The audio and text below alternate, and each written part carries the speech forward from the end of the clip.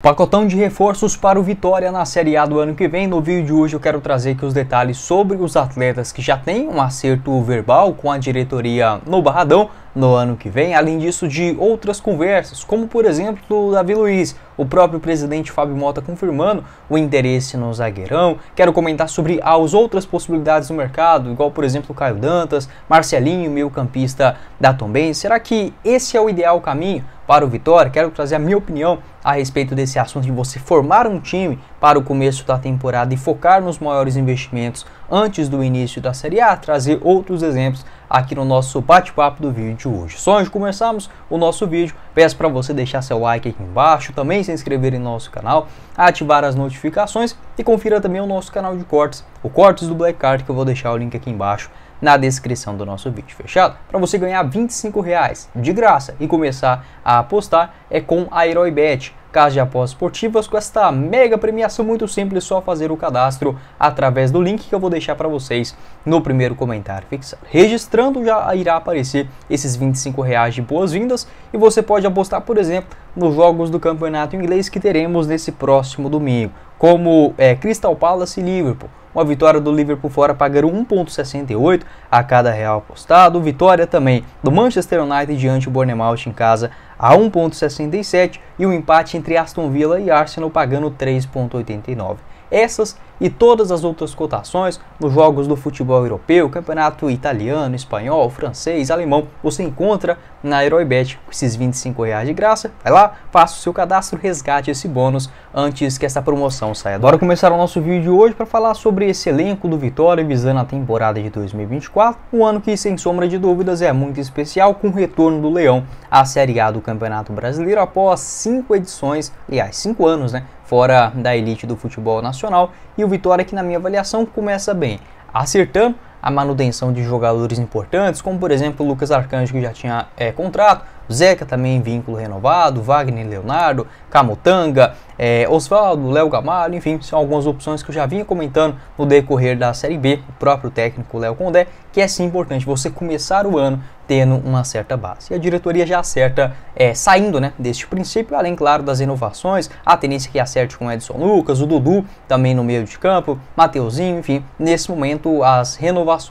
estão mais empacadas envolvendo o meio campista é, Rodrigo Andrade, né? mas a tendência é que ele acerte também. Vamos ficar atento em relação a esse assunto. Segundo informações do presidente Fábio Mota, em várias entrevistas que ele já deu, tanto ao programa B News, enfim, é, em outros podcasts, ele já afirmou que a tendência é que contrate um time de mais ou menos 9, 10 jogadores para o começo do Campeonato Baiano e tendo uma grande reformulação visando a Série A do Campeonato Brasileiro. Eu entendo que o Fábio Mota quer dizer e quer fazer também, muito por conta de que a principal verba do futebol brasileiro, principalmente para clubes é, como os nossos, né? Acho que já deu para perceber. Sou torcedor do Goiás, tem um canal do Verdão, ele chama Goiás News, vou deixar o link aqui para vocês também na descrição do vídeo. A principal verba é sim do direito de transmissão e ela chega apenas é, um pouco antes de começar o Campeonato Brasileiro ali próximo do mês de abril. Desta maneira, por isso que o Vitória ele prioriza a chegada dessa quantia, aí sim, condicionada à contratação de mais reforços. Mas eu não gosto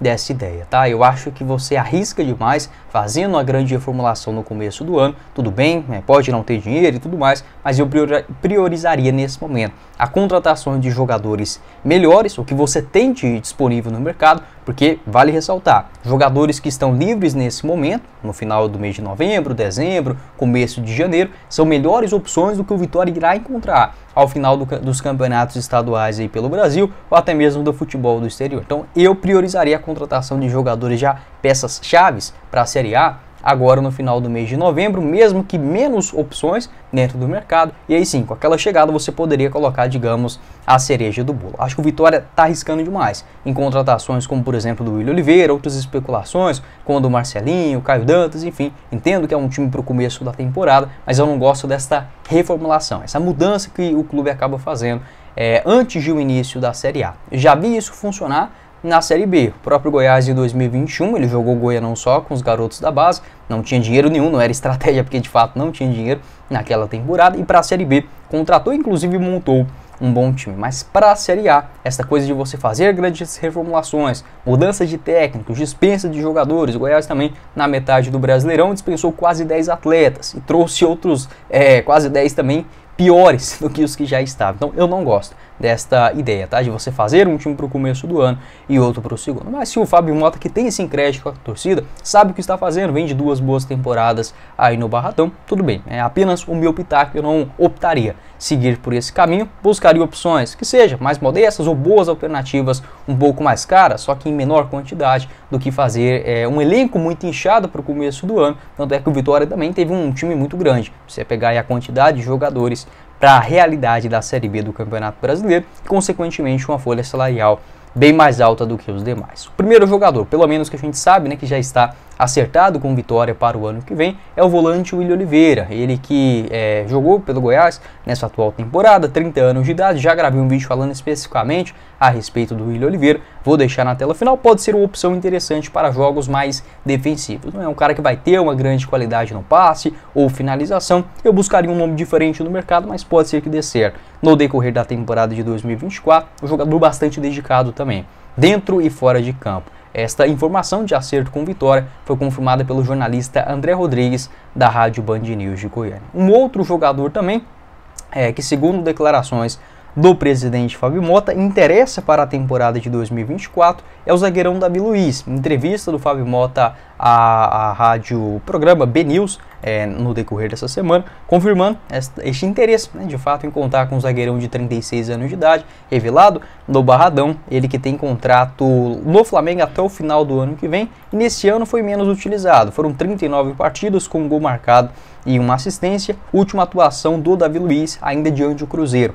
lá no dia 19 de outubro. No Brasileirão, somente 15 atuações, na Libertadores também foram 6 partidas, mas pegando os números gerais né, da temporada, ele foi mais titular ainda do que reserva, apesar de ter oscilado entre bons e, bons e maus momentos desde a reta final do Brasileirão de 2022. Então é um jogador que é é, na minha avaliação, espetacular. Tá? O Davi Luiz pode estar em uma fase, enfim, pode não ser um titular absoluto no elenco do Flamengo. Mas tirando esses clubes, né, Flamengo, Palmeiras, Atlético Mineiro, acho que até no Atlético Mineiro seria um titular absoluto.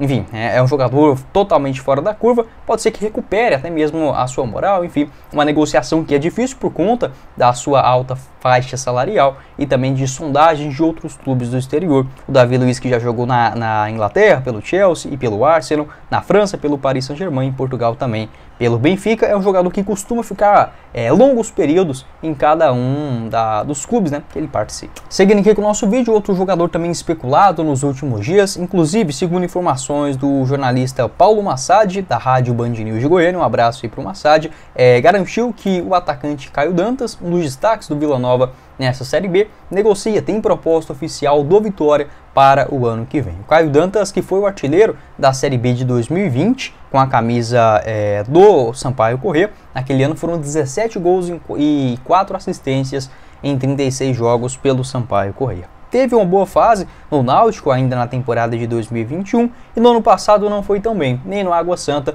nem no Criciúma, conseguindo se reencontrar agora no Vila Nova. Na disputa da segunda foram 10 gols e 2 passes para os seus companheiros em 32 participações. Também jogou com o Neto Pessoa ali no começo, um time bem ofensivo do Vila Nova no começo do campeonato.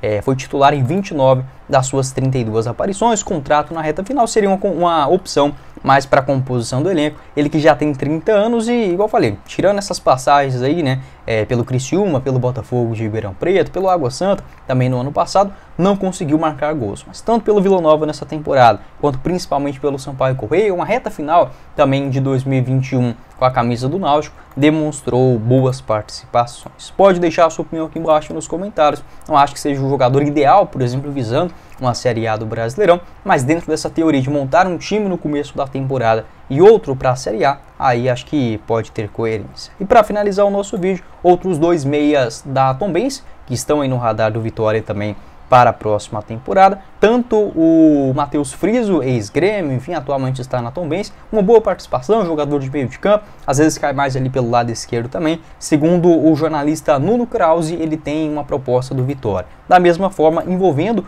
o Marcelinho, Marcelinho, essa informação confirmada pelo Anderson Matos, um abraço aí para ele. Gosto muito desse camarada, é, eu já indiquei ele para o Goiás também em pelo menos duas oportunidades no decorrer dessa temporada. Não é um jogador para ser titular, para chegar e ser a grande contratação do Vitória, mas para ser uma aposta, visando o longo prazo, acho que é uma opção bem interessante no mercado. Ele só tem 20 anos, geralmente faz mais as funções pelos lados, meia direita, ponta direita, ponta esquerda também. Já assisti alguns jogos do Marcelinho atuando mais centralizado como meia central. Né? É, nessa temporada pela Tombense, 7 gols e duas assistências em 46 participações. Na Série B foram 4 bolas na rede, jogador que tem também uma boa categoria de base, acho que isso é importante a gente ressaltar, ele que é natural de Anicuns, aqui no interior de Goiás, começa nas categorias de base, ele passa tanto no Cruzeiro quanto também na do Palmeiras, tá? Até chega a fazer algumas partidas no profissional, não conseguiu tanto brilho, foi emprestado à Ferroviária, enfim, Água Santa ainda no ano passado e agora uma temporada completa pela Tombense